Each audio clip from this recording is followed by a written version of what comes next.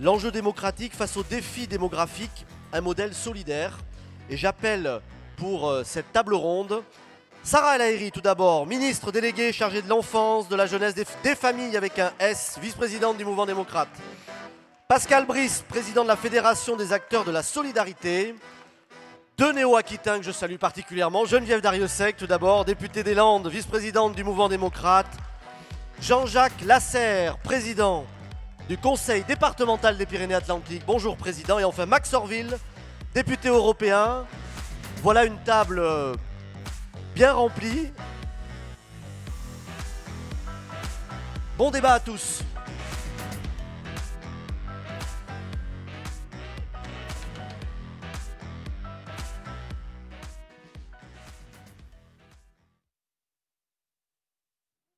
Mesdames, Messieurs, chers amis, avant de commencer, puisque cette table ronde porte sur notre modèle social, on voulait commencer par donner la parole en vidéo à un enfant. Quel conseil tu donnerais à tous les enfants malades? Bon, même aux enfants en général. Oui. Faut éviter de faire un métier qui te plaît, mais plus un métier qui te rapporte de l'argent. Et avec ce métier qui te rapporte de l'argent, fais ce qui te plaît. Vas-y, paye ton loyer avec de l'amour. vas-y, paye ta providence avec l'amour.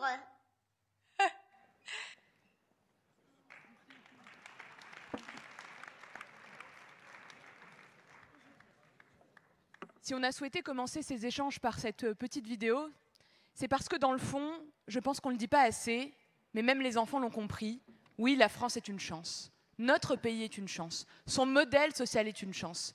La France, elle fait quoi au quotidien? Elle nous éduque, elle nous soigne, elle nous défend, elle nous protège. Et toutes ces grandes qualités, eh bien même cette petite jeune fille, elle, les a, elle en a euh, conscience. Mais même si notre pays et notre modèle est envié, qu'on le regarde avec, euh, avec envie, c'est parce que nous sommes une famille qu'il faut aussi le regarder comme il est et avec un regard de vérité. Ce modèle de solidarité, ce modèle social aujourd'hui, bah, il s'essouffle. Il s'essouffle. On voit, euh, on voit des, difficultés euh, naître. On voit un système euh, aujourd'hui qui s'adapte moins à nos vies, peut-être moins à nos risques. On voit un modèle qui, dans le fond, a été construit à une époque où on a superposé aujourd'hui bah, des mesures, des prestations, des protections, mais qui ne s'adaptent plus vraiment, plus vraiment à ce qu'on vit. Et un des exemples et une des illustrations concrètes, bah, c'est par exemple, puisqu'on en a parlé il y a quelques instants, l'équilibre financier. On dit que notre, aujourd'hui que notre modèle il est déficitaire, mais dans le fond, est-ce que c'est le sujet principal? La réponse est non. Par contre, ce déséquilibre, aujourd'hui, est un révélateur. Un révélateur de ce dysfonctionnement peut-être, mais en tout cas de cet essoufflement avec certitude. Mais le cœur de la transformation à accompagner, c'est bien sûr eh son évolution. Son évolution pour pouvoir donner un héritage à nos enfants, pour pouvoir faire que ce modèle sur lequel on s'est bâti, sur le modèle qu'on a bâti, que notre famille politique a construit, eh bien, puisse être transmis. Qu'il ne soit pas conjugué au passé, mais bien au futur. Alors pour ça, il faut regarder les choses telles qu'elles sont. Oui, aujourd'hui, nous avons plus de 3 000 milliards de dettes et je sais que c'est le grand combat de notre mouvement. Plus de 110% de déficit, bien sûr, mais tout ça n'a de sens que si on le met en perspective, en perspective de nos vies. Notre modèle social, il a été construit euh, à l'après-guerre. Nos familles étaient euh, plutôt composées euh, eh bien, euh, de, de, deux parents, trois enfants, un qui travaille, des parcours linéaires dans les métiers. On rentrait dans une entreprise, on y passait toute sa vie. Mais aujourd'hui, c'est plus ça. Aujourd'hui, c'est plus les réalités. Aujourd'hui, on a des familles plurielles, on connaît les divorces, on connaît les familles recomposées, on connaît les familles monoparentales, on a des réalités de vie où on n'a plus que deux enfants moyenne, un tout petit peu moins, et plus trois. On a une chute profonde de notre dynamisme démographique qui est le miroir de l'optimisme de notre société, qui est le miroir d'une certaine manière de la confiance qu'on a dans notre société. Et parce qu'il y a cet effondrement finalement de cette dynamique, et cher François, tu as été le premier à mettre en lumière la gravité en réalité les conséquences de ce manque de dynamisme et de ce confiance dans notre démographie, et que cette pyramide s'inverse, s'inverse par sa base. Alors, nous, avons le devoir de ne pas tomber dans les grands pessimismes, mais au contraire, de recréer cette espérance, cette envie, en tout cas cette confiance en l'avenir pour pouvoir transmettre quelque chose, de ne pas être finalement des commentateurs. Alors c'est quoi un modèle euh, solidaire? C'est quoi un modèle euh, des solidarités? Eh bien ce serait un modèle ben, qui s'adapte plus à nos réalités de vie, c'est-à-dire qu'il est, qui sont moins linéaires, un, modèle plus fort quand on connaît le chômage, un modèle plus fort quand euh, on a des galères parce qu'après un divorce, on a des problèmes de pension alimentaire. Et c'est des choses qu'on accompagne déjà aujourd'hui, bien sûr, avec par exemple l'automaticité du versement des pensions alimentaires, quand c'est nécessaire. C'est un modèle plus humaniste, ça veut dire aussi qu'il est moins égoïste, un modèle euh, plus individuel, mais ça ne veut pas dire que c'est moins individualiste, pas du tout.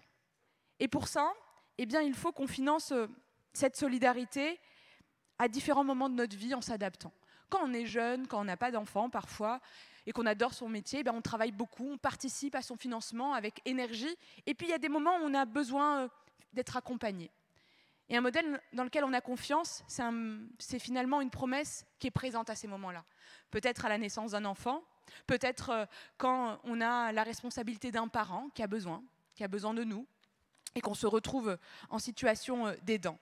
Mais dans le fond, comment on fait ça alors même qu'on se dit qu'on a tellement de besoins encore? Comment on fait ça quand on se dit, tous quand même, puisque c'était une des questions euh, tout à l'heure, qu'on a l'impression qu'on paye déjà beaucoup trop d'impôts à titre en tout cas individuel? Alors, je ne voulais pas parler de, moi plus particulièrement, mais je voulais partager avec vous finalement une petite réflexion pour montrer peut-être l'écart entre cette perception, en tout cas cette sensation de dire, mais on paye déjà beaucoup, et est-ce que finalement on reçoit à la hauteur? Est-ce que finalement notre modèle apporte à la hauteur de notre participation? Alors il se trouve que moi cette année, j'ai eu un petit bébé et donc une naissance. Et cette naissance, je me suis dit combien, ça coûte quand même un accouchement? En moyenne, ça coûte 2000 euros. Sauf que pas de chance, pas de bol, ça arrive. Moi, j'ai fait une césarienne en urgence. Alors, une césarienne, c'est à peu près 10 000 euros à l'hôpital. On a dans ma famille deux enfants qui sont scolarisés. Nos deux enfants, c'est à peu près 9 000 euros chacun pour une année de scolarité. Mais, ah ouais, ça commence à faire. À côté de ça, une année, euh, en tout cas un nourrisson, quand il arrive, euh, quand il arrive au monde, eh bien, on a tous les euh, rendez-vous, évidemment, du pédiatre, de la péricultrice. Tout ça amène un certain nombre de dépenses. Je ne suis même pas capable de les chiffrer. Et on connaît tous des galères. Bon, encore une fois, c'est pas spécialement pour raconter, mais moi, on m'a volé ma caravane. Donc j'ai dû aller déposer plainte, aller voir les gendarmes. Et je ne sais pas tout ça, qu'est-ce que ça apporte. Mais dans le fond, si je fais juste la moyenne alors qu'on n'est même pas à la fin mars, notre modèle a investi, juste sur ma famille, plus de 30 000 euros. Est-ce que je paye 30 000 euros d'impôt sur le revenu? Bien sûr que non. Évidemment que non. Mais dans le fond, où est-ce qu'on va aller chercher? Alors finalement ces nouvelles ressources, ces nouveaux, moyens qui sont nécessaires pour nous permettre de trouver l'énergie permettant d'aller chercher eh bien, ce modèle qu'on veut donner en héritage à nos enfants. Ce modèle, eh bien, il doit se construire avec une société plus juste. Et c'est pour ça qu'il ne faut pas avoir de tabou. En tout cas, pas entre nous. Un juste partage des richesses, bien sûr, mais aussi, je crois que c'est nécessaire, la confiance entre tous les acteurs qui peuvent faire quelque chose, en tout cas qui ont la charge de la responsabilité de l'action. Et c'est pour ça que cette table ronde, eh elle mobilise l'ensemble des acteurs qui peuvent apporter un certain nombre de solutions. Accompagner la transformation de notre modèle social vers un modèle plus solidaire, c'est faire confiance, et donner la responsabilité à chacun. Et c'est pour ça que je voulais commencer en donnant la parole à Pascal Brice, qui va nous parler, bien sûr, de l'engagement et de l'engagement des associations en particulier. Merci beaucoup, Sarah, chère ministre, de, de ce propos de, de, lancement. Euh, oui, le lien social, c'est la force d'une société. La force d'un pays, c'est c'est ce lien social. Et si je suis parmi vous aujourd'hui, c'est d'abord euh, par le fait de l'invitation du président Bérou, de votre secrétaire général, et je les en remercie. C'est aussi parce que lorsque l'on préside une fédération d'associations de lutte contre la pauvreté, on est à l'aise dans votre famille politique, quand on parle de solidarité. Mais c'est aussi parce que je voudrais partager avec vous ce que je pense vous vivez partout où vous agissez, où vous êtes élu, où vous militez comme membre du MoDem, Partagez ce que je vois partout, dans les rues de vos villes, de vos villages, dans les distributions alimentaires, dans les lieux d'hébergement, les accueils de jour, les accueils de nuit, les chantiers d'insertion, des associations qui vacillent, mesdames et messieurs, qui vacillent, comme peut-être l'ensemble de ce pays. Alors c'est vrai que lorsque j'entends des appels euh, comme celui de votre président à ne pas être dans la résignation, à refuser de désigner dans notre société même des boucs émissaires pour euh, trouver les solutions collectives. Alors je suis euh, heureux de partager cela avec vous aujourd'hui.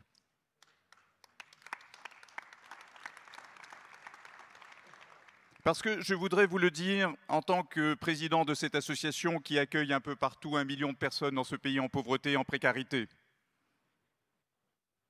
Et je vous le dis tel que je l'ai dit aux membres de ce gouvernement.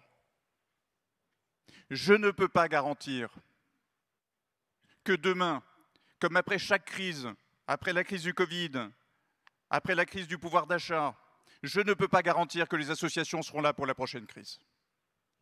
Je préfère qu'on le sache. Je veux partager avec vous, mais vous le savez, vous le sentez, vous êtes comme moi.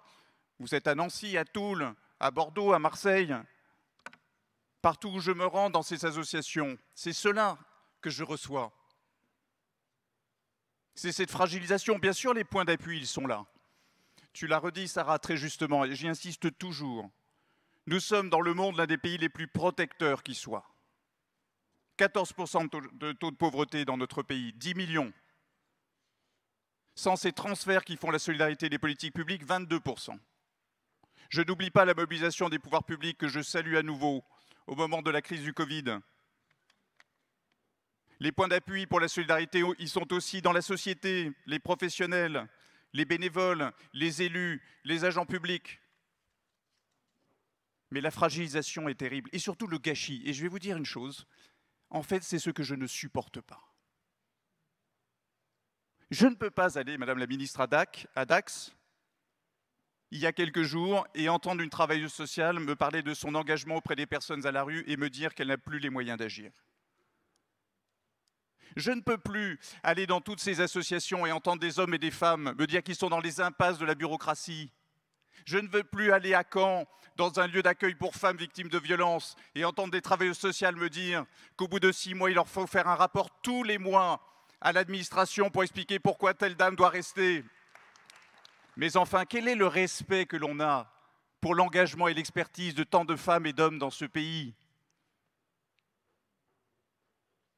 Cette fragilisation, elle est le fait de cette bureaucratisation de ces métiers. Je, l'ai dit euh, au, Premier ministre après sa déclaration politique générale. Il veut débureaucratiser, déverrouiller, désmicardiser. Eh bien, je lui présente les 1 500 000 travailleurs sociaux et travailleurs sociales dans ce pays qui ne demandent que cela, qu'on les désmicardise, qu'on les débureaucratise, qu'on déverrouille ce pays, qu'on leur laisse la liberté, la confiance, Sarah, dont tu parlais si, justement. Ces fragilisations, elles sont nombreuses. À un moment où vous le savez, vous le vivez dans vos villes, dans vos villages. Cette pauvreté, cette précarité, elle s'étend, elle s'enracine, elle s'installe. Comment faire comme si cela n'existait pas? Je sais que la société en a la tentation. dans les villes, dans les campagnes, les jeunes, les femmes. Une commerçante sur un marché chez moi à Malakoff qui me dit J'ai jamais vu ça en 30 ans, des, personnes âgées qui, à la fin du marché, viennent chercher de la nourriture.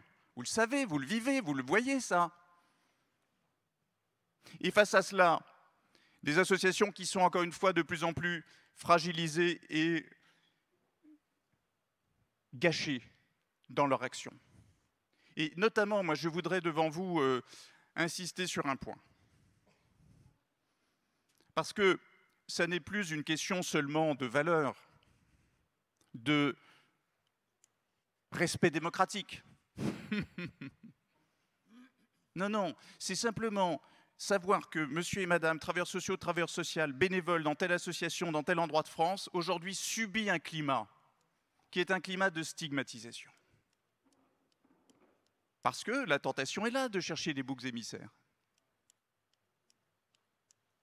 Lorsque l'on parle des bénéficiaires du RSA, en opposant ceux qui travaillent et ceux qui ne travaillent pas, ceux qui ont du mérite et qui n'ont pas du mérite, ceux qui ne demandent rien et ceux qui sont demander quelque chose. Lorsqu'on porte une loi sur l'immigration et qu'on a affaire à un vote au Sénat, mesdames et messieurs, je suis désolé de vous le dire très clairement, qui n'est pas de la même nature que tous les débats qu'il y a eu dans ce pays à l'infini depuis des dizaines d'années, mais qui dit autre chose. Et une autre chose qui relève de la stigmatisation pure et simple.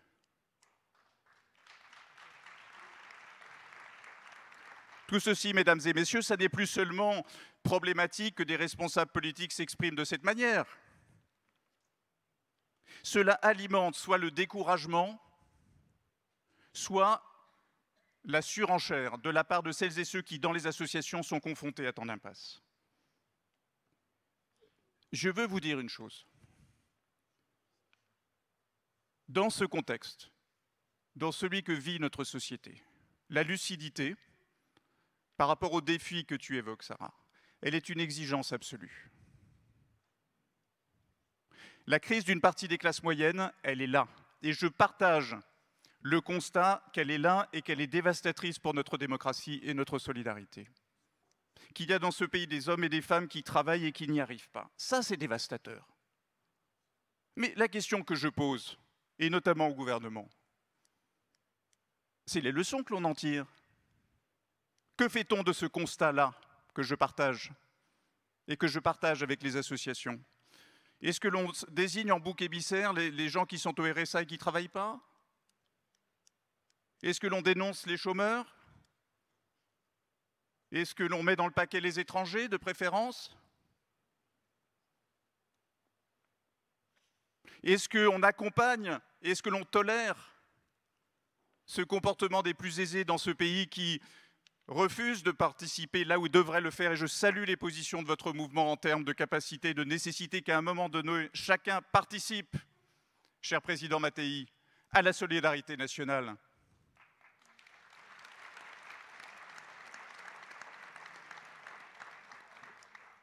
Où est-ce que, et j'en termine, chère Sarah, est-ce que nous sommes capables, dans ce contexte où il nous faut la lucidité, parce que les classes moyennes, une partie des classes moyennes est en crise, que la question de la maîtrise de l'immigration est posée. Je ne fais pas partie de celles et ceux qui sont euh, aveugles sur ce qui se tiraille la société, au plan culturel, au plan social.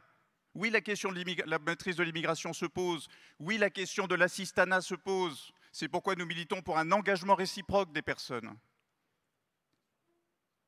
Et donc ce qui est devant nous, me semble-t-il, et j'en termine par là, et c'est l'objet d'un courrier que j'ai adressé au Premier ministre tout récemment,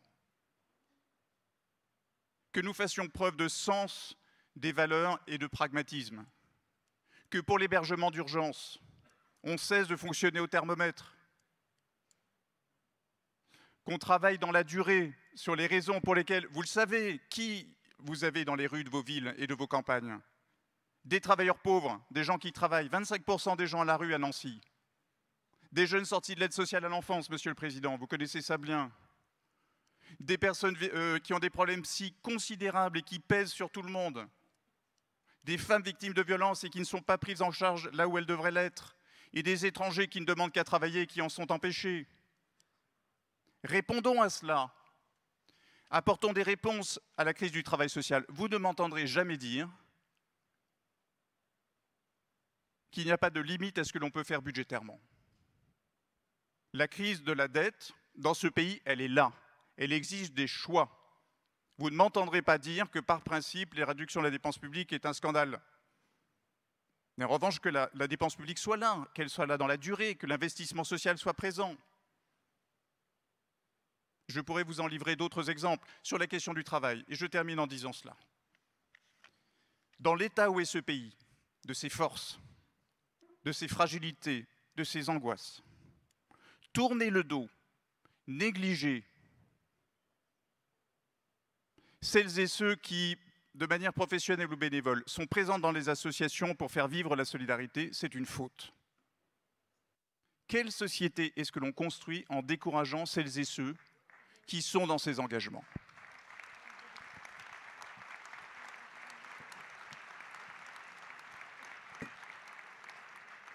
Et ça me permet de faire une transition en simplicité parce qu'il se trouve que c'est notre famille politique, c'est notre mouvement et c'est notre groupe qui, l'année sous le mandat précédent, a voté un certain nombre de lois sur le monde associatif pour l'accompagner, pour le protéger, que ce soit dans le cadre de la responsabilité des dirigeants associatifs ou encore après sur les lanceurs d'alerte.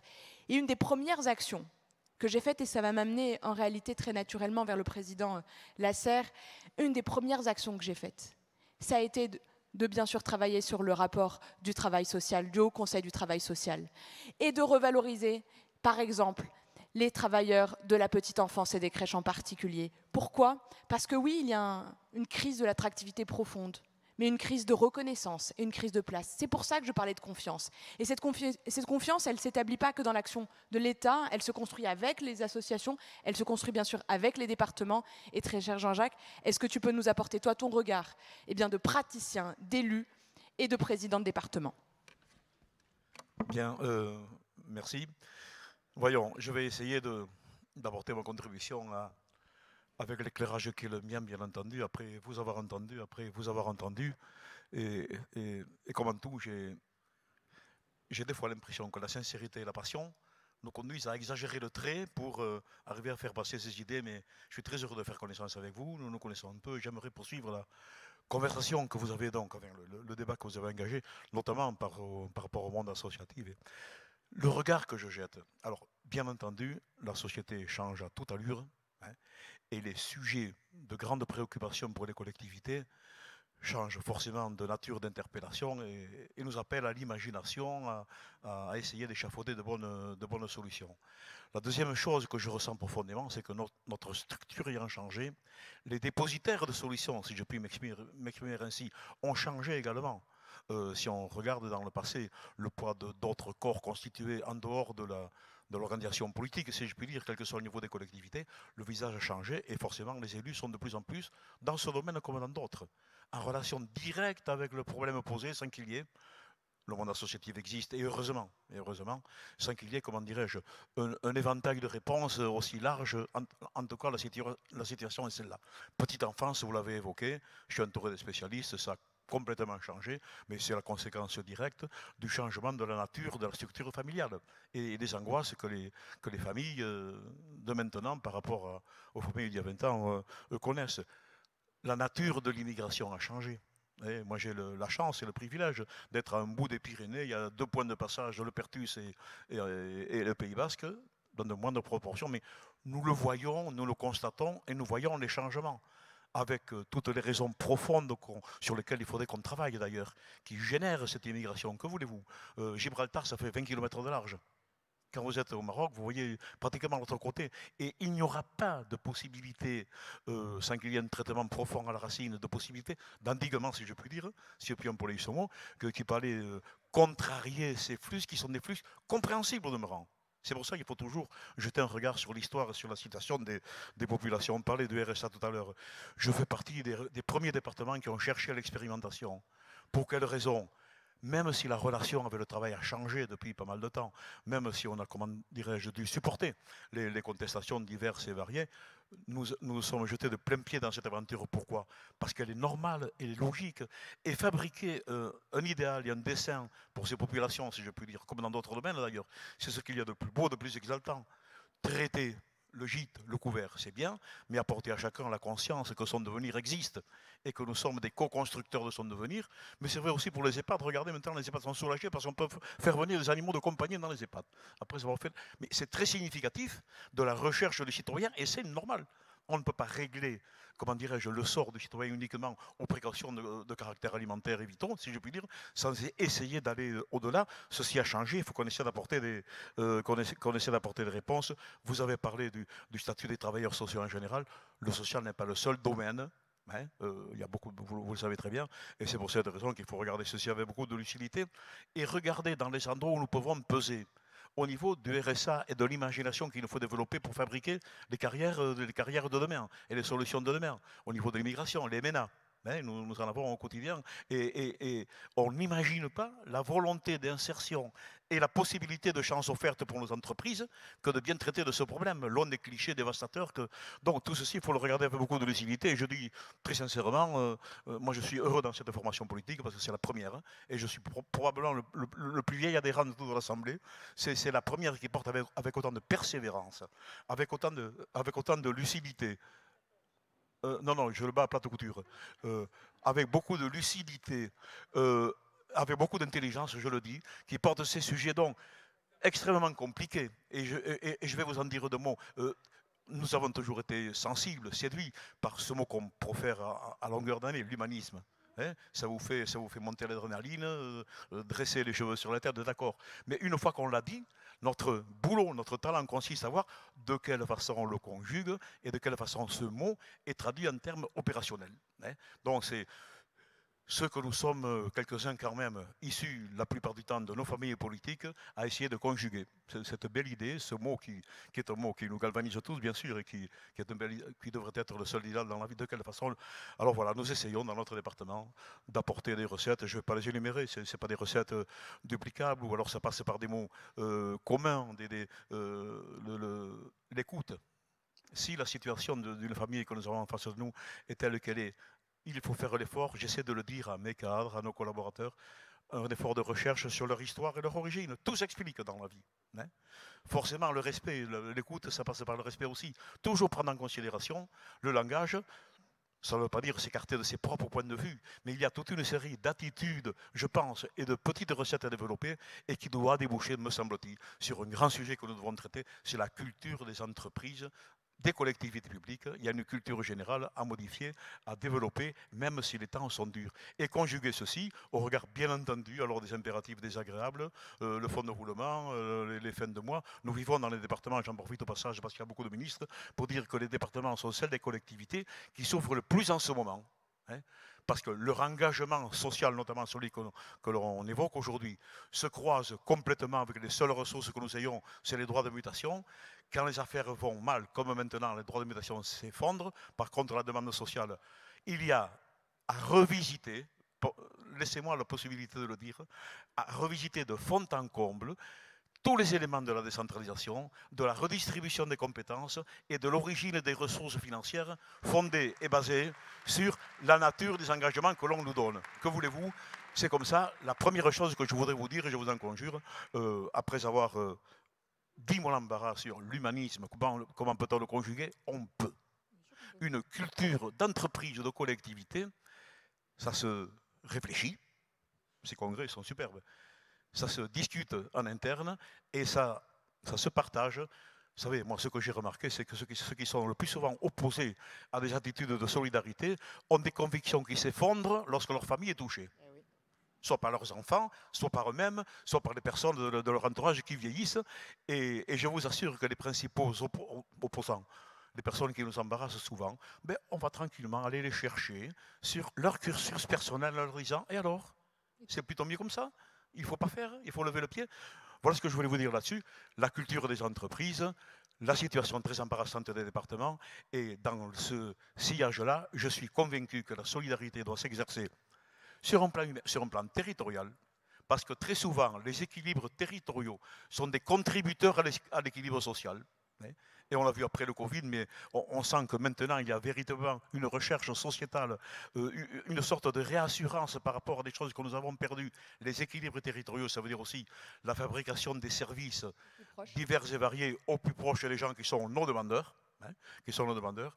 Et, puis, je le dis, la décentralisation, je suis convaincu euh, après avoir exercé plusieurs types de responsabilités, que le social nécessite beaucoup plus que le reste encore de la proximité parce que c'est là qu'il y a, du, bon savoir-faire, on peut en avoir à tous les échelons, mais la vraie sensibilité, la vraie sensibilité, celle qui conduit le décideur ou celui qui suggère une action à taper dans le mille, la vraie sensibilité, elle se fabrique au social parce que rien ne changera la relation directe, surtout lorsqu'on évoque, évoque, des choses qui touchent votre âme, votre esprit, et qu'on ne met pas en négociation sur une directive ou sur un ordinateur c'est pour cette raison, c'est pour cette raison que je pense qu'il faut qu'on veille, comment dirais-je, à la bonne santé, bien entendu, des conseils départementaux, de toutes les structures qui s'occupent de ceci. Hein. Et parce que je le, redis peut-être un peu lourdement, euh, on, traite d'un sujet, on va jusqu'au plus profond de chaque être, de chaque citoyen, et rien ne change. Que voulez-vous? C'est la différence qu'il y a entre une réunion en visio ou une réunion en direct. C'est quand même pas pareil. Hein pardonnez-moi de la comparaison, euh, la proximité, je pense, doit s'imaginer notamment sur des sujets comme, euh, comme celui-ci. Et ça, je vous le dis très sincèrement, c'est l'expérience qui m'y conduit. Et sur le premier point que j'ai évoqué, l'humanisme, de quelle façon le traduire, vaste chantier. Et je suis très très curieux et, et, prêt à discuter avec les uns avec les autres pour voir le visage, et c'est là qu'il faut également innover, le visage que ceci peut prendre, parce que je suis convaincu qu'il y a des trésors d'imagination développés. Merci beaucoup. Et ce trésor d'imagination, il faut évidemment le développer, et en particulier quand on est le plus fragile ou la situation la plus fragile. C'est pour ça que dans cette décentralisation, il se trouve qu'une loi a permis, par exemple, maintenant au bloc communal d'être l'autorité régulatrice de la petite enfance, parce que la réponse, elle est au plus près. Mais c'est aussi les plus vulnérables, c'est aussi euh, les aînés, et c'est aussi parfois euh, bah, nos enfants, c'est parfois euh, nos grands-parents qui se retrouvent en situation de dépendance ou de perte d'autonomie. Et évidemment, euh, la parole, je souhaite la donner à Geneviève, à Madame la Ministre. Pourquoi? Parce qu'aujourd'hui, on a en plus un effondrement démographique. Et donc un modèle avec une pyramide qui s'inverse et des besoins croissants, des besoins nouveaux. Et cette solidarité, elle tient si on réussit à ne pas tomber dans cette guerre des générations, bien au contraire, qu'on arrive à tisser en réalité le lien entre les deux, puisque c'est pour nos enfants que nous construisons, mais on peut construire que si on, accompagne euh, en tout cas les plus anciens. Geneviève? Merci, euh, merci euh, Sarah. Bon, moi ce que je... Il y a toujours le ton avec lequel on parle des choses. Et je voudrais qu'on n'en parle pas comme d'un fardeau. Moi, parler des vieux, des personnes âgées, de la dépendance, ça ne doit pas être un fardeau pour notre société. Parler des personnes euh, en grand besoin dont, vous avez, dont vous avez parlé tout à l'heure, ça ne doit pas être un fardeau pour notre société. C'est un sujet qu'il faut qu'on traite avec sérieux, pragmatisme, hauteur ou, ou, proximité, selon, selon le cas mais ça doit être des sujets d'espoir et des sujets euh, que l'on doit euh, porter avec euh, une grande conviction et un grand enthousiasme.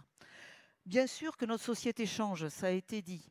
Baisse de la natalité, et puis quand même un sujet heureux, c'est allongement de la durée de vie, parce qu'on vit plus longtemps et en meilleure santé. Donc ça, c'est un point positif du vieillissement des populations. Aussi, il y a des points positifs. Euh, et donc, euh, bien entendu, notre société évolue avec euh, eh bien, une démographie tout à fait différente et une sociologie tout à fait différente. Et dans mes jeunes années, le bloc familial, en fait, c'était un bloc familial dans une maison, vivait trois ou quatre générations. Il y avait ce qu'on en appelait une solidarité familiale, en définitive. Et aujourd'hui, nous sommes plus dans une solidarité sociétale. C'est-à-dire que les personnes âgées, elles sont plus à la charge de la société euh, en général, ou les personnes fragiles, euh, parce que ben, c'est l'évolution de notre société. Je crois que euh, ce n'est pas péjoratif, c'est un fait, et nous devons avancer dans ce, fait-là. Alors oui, en, 2020, eh bien, les plus de 65 ans représentaient plus de 20% dans notre pays. Euh, et euh, ça a augmenté de 5 points en, 20 euh, ans. entre 2020 et 2030, les 75 et 85 ans augmenteront de 50% en France. il n'y a pas que la France, il y a l'Europe entière en fait, qui est dans cette situation démographique. Donc nous avons un enjeu qui est un enjeu français, nous avons un enjeu qui est un enjeu français avec la proximité nécessaire pour la mise en œuvre de ces politiques. Euh, bien entendu euh, la hauteur nécessaire pour organiser et structurer ceux qui mettent en œuvre ces politiques, pour bien entendu voter les budgets. Euh, mais nous avons aussi un, sujet européen qui est un vrai sujet qui touche l'emploi, qui touche aussi la typologie de la consommation, qui touche la formation, qui touche aussi tout simplement la jeunesse qui aura besoin, elle aussi, dans la solidarité sociétale, euh, d'aider à, aborder tous ces sujets. Donc je crois que nous avons des enjeux devant nous qui sont euh, importants. Donc il faut adapter notre société. Il faut adapter notre société. Alors les retraités, les, personnes âgées par exemple, puisqu'on parle de personnes âgées, il y a des, retraités actifs. D'abord, ils restent actifs très longtemps. Comment leur permettre d'accéder à l'emploi? On en parlait tout à l'heure. Euh, comment, euh, pour ceux qui le souhaitent, il y, a des, il y, a des, retraités qui souhaitent travailler. Comment leur permettre d'accéder euh, à un engagement associatif? Comment leur permettre d'accéder enfin, à toute forme dans, dans d'activité dans la société. Et puis on a des retraités qui, qui deviennent plus fragiles en vieillissant. Et enfin, la perte d'autonomie, en général, l'âge moyen, c'est 85 ans. Donc il faut que nous nous adaptions. Il faut adapter les logements, il faut adapter les espaces publics. J'ai beaucoup parlé d'accessibilité quand j'étais en charge des personnes handicapées, mais l'accessibilité, ce n'est pas que pour les personnes en situation de handicap. L'accessibilité, c'est pour la société tout entière, et particulièrement les personnes euh, âgées qui, sont de plus en plus nombreuses dans, euh, dans nos villes et dans nos campagnes. Donc accessibilité des espaces publics, accessibilité des mobilités, et puis lutter contre l'isolement. Je crois que c'est ça que nous devons. Est-ce que ça demande beaucoup de moyens de lutter contre l'isolement? Je suis désolée, je ne pense pas. Ça demande une prise de conscience collective. Et ça demande un, modèle, un, modèle, de société qui n'est plus centré sur son, sa propre personne, mais qui aussi qui, qui, regarde son voisin et qui regarde à l'extérieur. Ce n'est pas toujours une question de moyens. C'est aussi une question de, de, raisonnement de, notre, société. Donc je crois vraiment qu'on a euh, collectivement des choses à porter aussi euh, dans ce, dans ce domaine-là. Alors, euh, Jean-Jacques parlait de décentralisation. Moi, je suis d'accord. Bien entendu qu'il y a des politiques sociales qui doivent être menées au plus près du terrain. Et on a besoin de cette décentralisation. J'ai une inquiétude avec la décentralisation complète, c'est l'inéquité territoriale. Je le vois bien avec nos politiques, par exemple, du handicap. Je l'ai bien vu. Euh, eh bien, il y a euh, des, actions qui se mettent en œuvre dans certains départements qui ne le sont pas dans le département d'à côté. Et nos concitoyens, le français ne comprend pas ça. Parce qu'on n'est pas habitué. On a été trop centralisé pendant euh, très très longtemps. Donc, comment arriver à avoir une décentralisation efficace une loi qui soit une loi qui centralise, elle, qui est centralisatrice, elle forcément, pas bavarde, qui donne un cadre qui permette l'équité territoriale, mais en laissant les mains libres aux acteurs de terrain sur une politique décentralisée pour qu'ils mènent cette politique. Mais que chacun. Donc, ça, c'est un vrai enjeu. Mais ce n'est pas si simple que ça à mettre en œuvre. Voilà. Donc, je crois qu'on a cet enjeu-là. Et ensuite, bon, je, terminerai en rappelant simplement que les, euh, les, bon, les politiques sociales, euh, euh, c'est beaucoup plus que le budget de l'État. Hein. C'est le double. Bien sûr. Donc, ce sont des budgets considérables. Et moi, je, très sincèrement, on a un chantier devant nous. C'est de tout restructurer. Je suis persuadée qu'on peut faire beaucoup mieux avec autant, mmh. voire avec moins. persuadée. Donc on a un enjeu collectif, il faut se retrousser les manches et je crois que notre mouvement peut porter ça. Parce qu'on porte justement ces sujets de dépenses publiques euh, et cette attention à, l'endettement de notre pays. Je reste persuadée que dans le domaine social, dans le domaine de la santé, dans tout ce domaine-là, dans ces 650 euh, milliards euh, de budget, nous en avons largement assez. Mais qu'il faut repenser les structurations et qu'on soit plus efficace avec ce même argent que nous confient les Français, parce que c'est quand même le travail des Français euh, qui nous confie cet argent euh, afin qu'il soit à leur service. Donc on a vraiment un enjeu qui est un enjeu majeur de faire mieux avec autant. Merci beaucoup.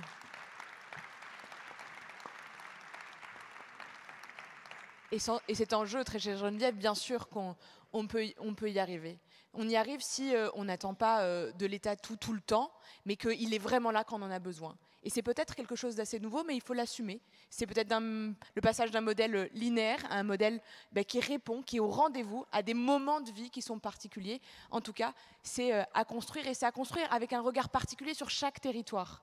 Parce que les territoires ne sont pas les mêmes, parce que les, les richesses et les difficultés ne sont pas les mêmes. Et c'est pour ça que Max, monsieur le député européen, ça sera l'occasion peut-être de faire un, focus, un, regard plus posé sur euh, nos outre-mer, mais des départements qui sont les plus jeunes qu'on ait en France, et peut-être même euh, la Martinique plus spécifiquement. Très cher Max.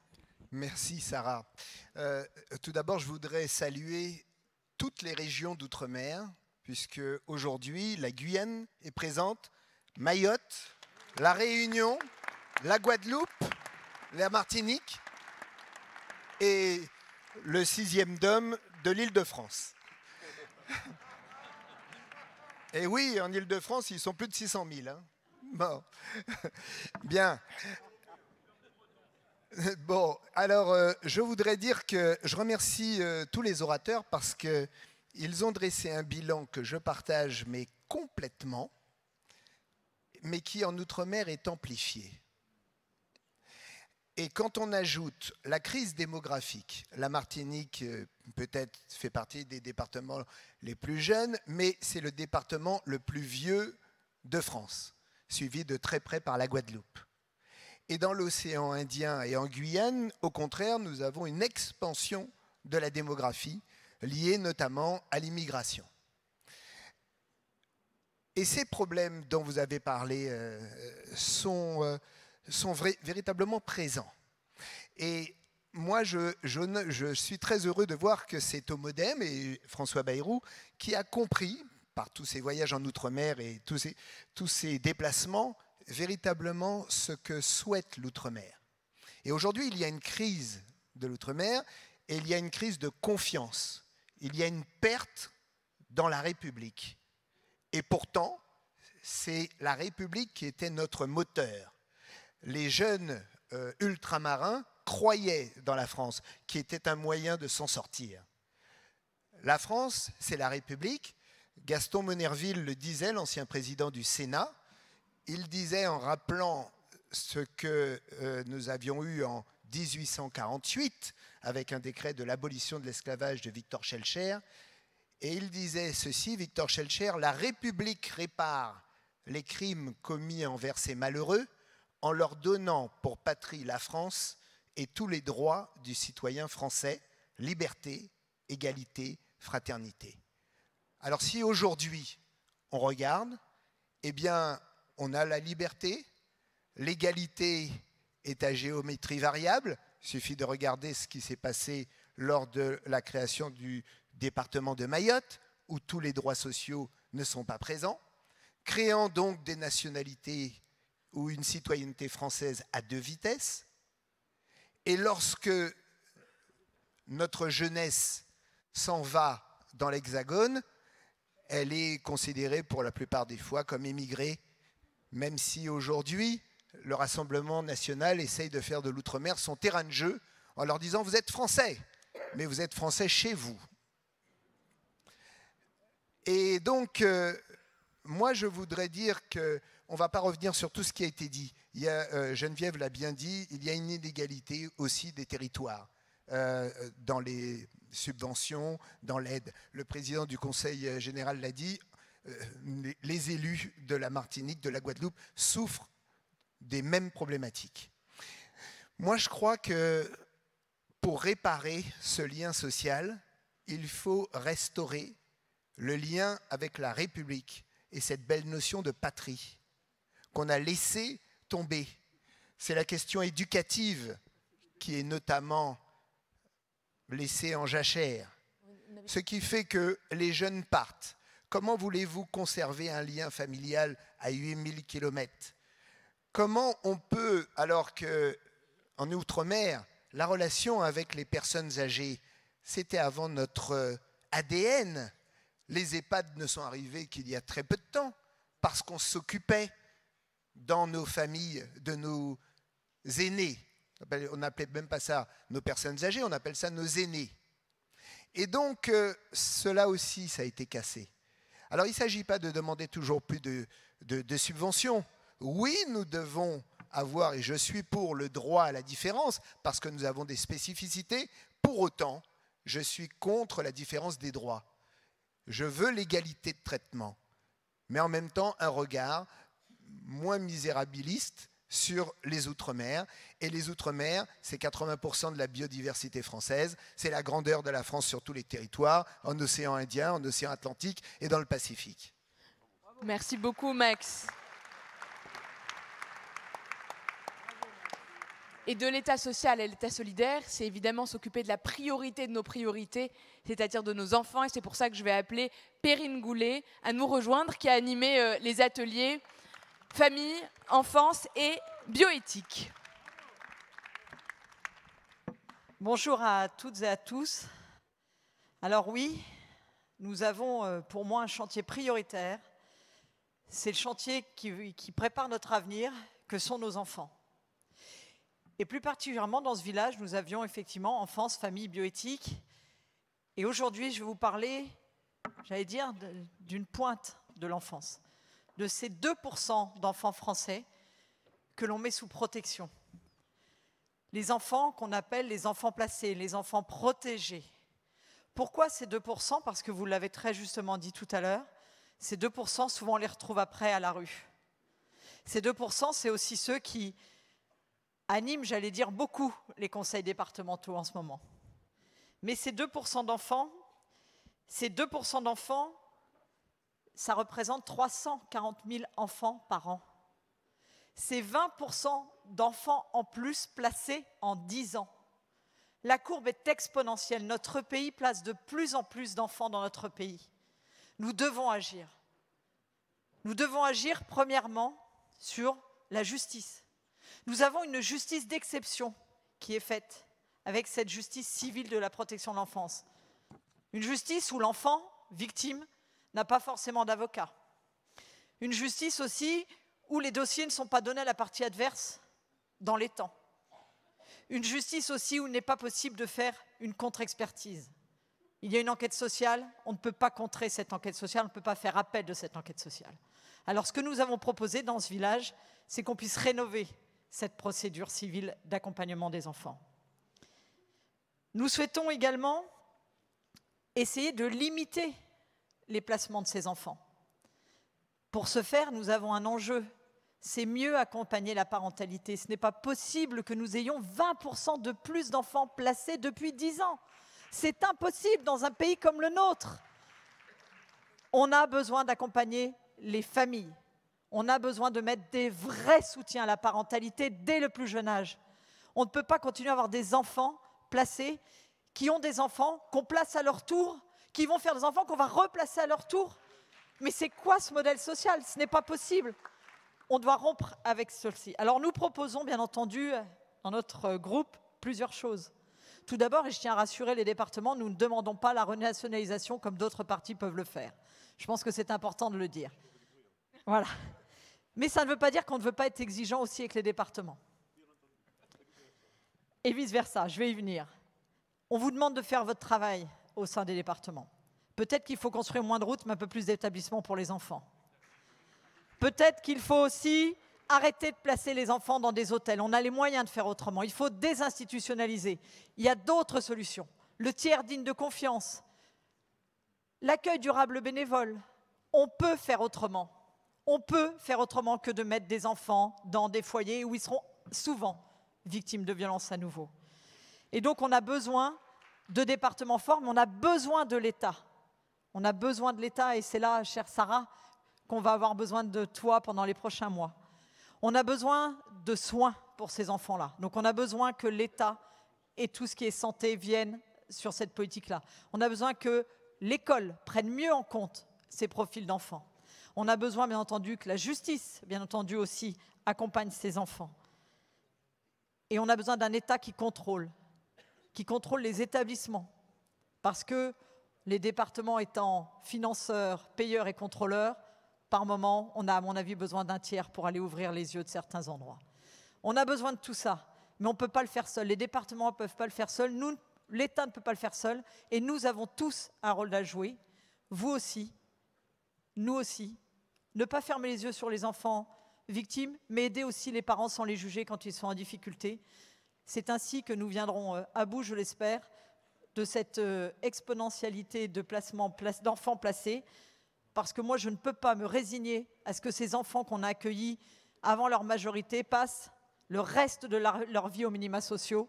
On ne peut pas les laisser passer au RSA, puis au minimum vieillesse. Ce n'est pas un enjeu, c'est un poids pour notre pays. Nous devons investir dans notre enfance et c'est ensemble, avec le, mouvement démocrate, que nous devons faire une priorité de l'enfance. Et je vous remercie. Bravo Perrine.